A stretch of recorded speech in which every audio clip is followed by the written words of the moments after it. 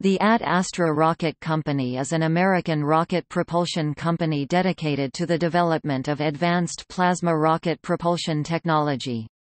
Located in Webster, Texas, three miles away from NASA's Johnson Space Center, the company was incorporated on January 14, 2005.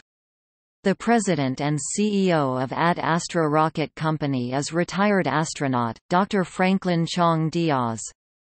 The company has been working on Chang Diaz's concept of the Variable Specific Impulse Magnetoplasma rocket, known by its acronym VASIMR.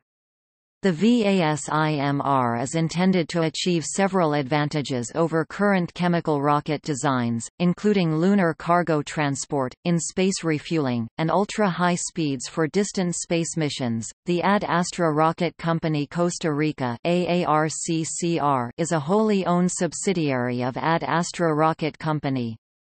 AARCCR was formed in 2005. The facility is located approximately 10 kilometers west of the city of Liberia, capital of the province of Guanacaste, on the campus of Earth University. On December 13, 2006, the Costa Rican team of AARC generated its first plasma. After extensive testing of a 200 kW ground test VASIMR unit, the company is aiming for a three-year flight test mission. In March 2015, NASA selected Ad Astra for the Next Step program.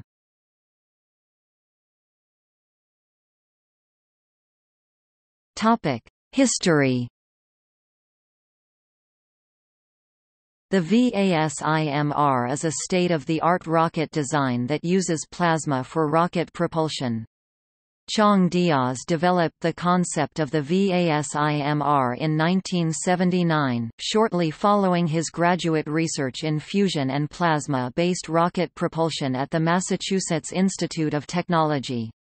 After being selected as an astronaut in 1980, Chang Diaz served on seven different shuttle missions, a space record that he shares with astronaut Jerry L. Ross.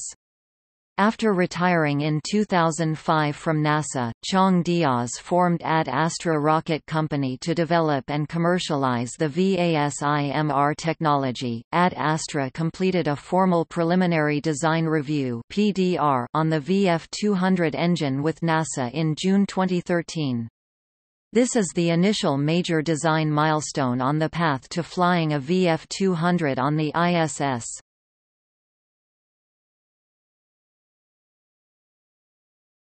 Topic: 200 kilowatts engine. Ad Astra Rocket Company developed the VX200, a full-scale prototype of the VASIMR engine intended for ground testing. The company successfully tested the prototype in September 2009. Following the test, the company will begin preparations for the VF201, the first flight unit. The VASIMR technology could be useful in the near future for interplanetary space travel. The VASIMR design would be capable of reducing the trip from Earth to Mars to less than four months, whereas current chemical rockets would take around eight months for one-way transit, making the round-trip mission longer than two years.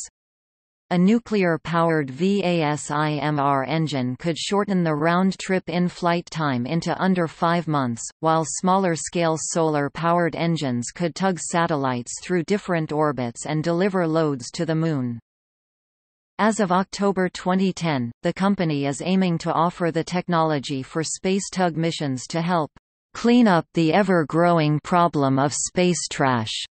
As of July 2012, a recent test phase of the VX200 has demonstrated a 10% increase in efficiency at intermediate levels of specific impulse, indicating that an operational version would both increase payload mass and decrease trip times.